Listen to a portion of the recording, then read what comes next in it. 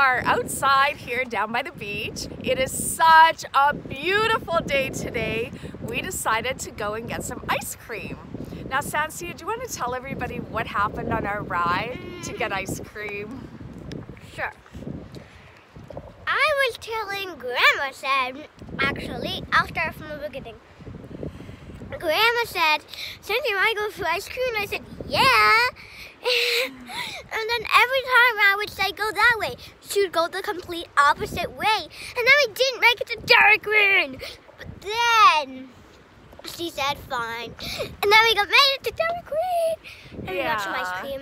So what I was trying to explain, Sansia, is I was going the wrong way. Every Yes. time you told me to go right, I would go left. And it took a long Time. time to get to Dairy Queen to have ice cream. And I wasn't listening to you, was I? You wasn't! You knew how to get to the ice cream store. Yeah.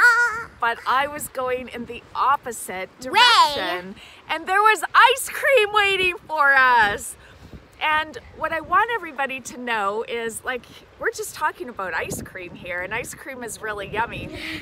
But so often we do that in our everyday lives where God has this incredible blessing for us and we're not following Him. We're not doing what He is saying, and so we're missing out. We think that we can do it on our own, we think we can go our own way, and we're missing out on these blessings that God has for us the Bible in Psalm 119, it talks about happy are those who do what is right, who do what is good at all times. And kids, what I want you to know is the Bible is not a bunch of rules. It's not a bunch of do's and don'ts.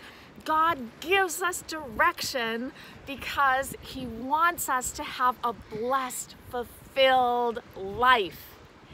Jesus loves you. So do I.